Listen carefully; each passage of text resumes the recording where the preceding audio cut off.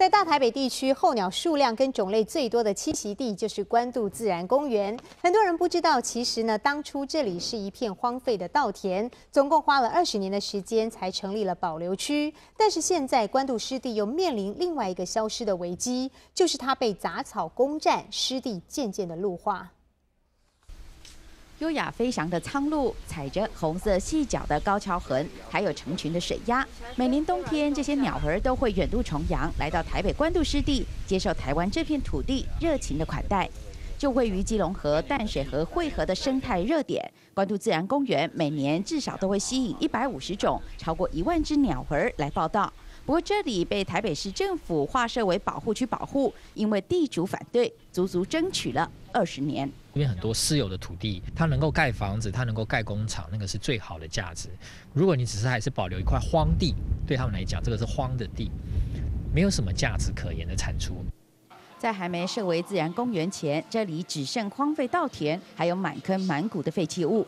十年前，市政府委托台北市野鸟学会经营之后，园区焕然一新，一片绿意盎然。不过，绿意却大举蔓延，陆地的杂草不断滋生，多到园方只好买来水牛吃草兼除草，但还是不敌大自然的力量，杂草攻占湿地，开始长起了一棵树、两棵树到一堆树。讲个比较难听一点，就是一根筷子插一根贡丸而已啊，它其他分子都没有。经经过这样子十年下来的话，其实树的覆盖性它变得很大很旺盛。看到小树长成大树，不是一件好事吗？如果长在湿地，就不是。关注自然公园表示，陆化代表湿地变干，原本半水半陆的泥潭地慢慢缩小，减少鸟类的食物来源，整个生态系也会像牵一把动全身，慢慢质变。为了不让湿地就此快速消失，园方每年都要编列上百万来挖土。只是这样，我们在跟大自然在做这样的拔河，因为我们人为在看待这个所谓的经营管理的层面的时候，必须要有人去做这样的一个介入或者是干扰。因为鸟类丰富，关渡自然公园一九九八年就被国际鸟盟列为重要野鸟栖地。